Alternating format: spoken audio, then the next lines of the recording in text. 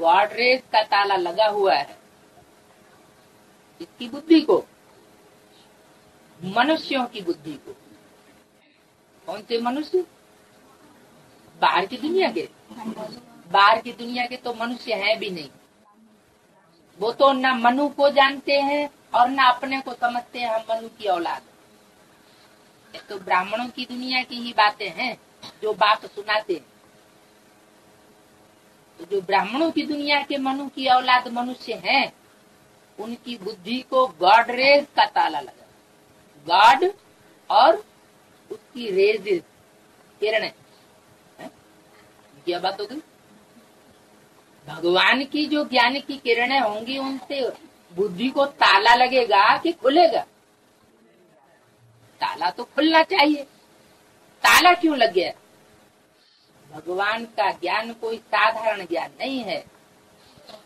भगवान का आदेश कहो, ज्ञान कहो डायरेक्शन कहो, ये साधारण मनुष्यों की तरह डायरेक्शन नहीं है।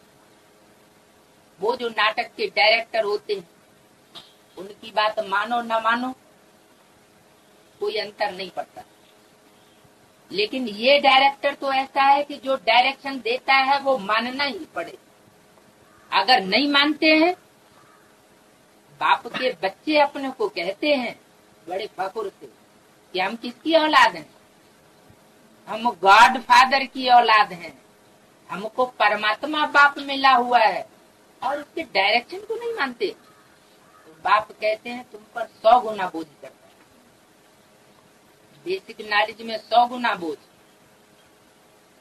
और एडवांस नॉलेज में आने के बाद हज़ार गुना बोझ।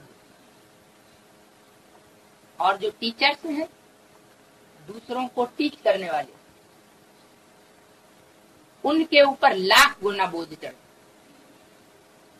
तो गॉड रेस का ताला क्यों लगता है? गॉड परमात्मा की ज्ञान की किरणों का ताला क्यों लग जाता है बुद्धि को? क्योंकि परमात्मा की दी हुई मत पर अगर नहीं चलते हैं और दुनिया से ये अंजाम करते हैं कि हमको परमात्मा पाप मिला हुआ है। तो देखने वाले क्या समझेंगे? कि इनको भगवान मिला हुआ है। भगवान मिला हुआ है और खुद भगवान की बात को नहीं मानते। तो उनकी बुद्धि का ताला बंद हो जाता है। ऐसा ताला लगता है जो एकदम पत्थर बुद्धि बन जाती है इससे तो अच्छा भगवान को न पहचाना होता। न भगवान के बने होते तो अच्छा था।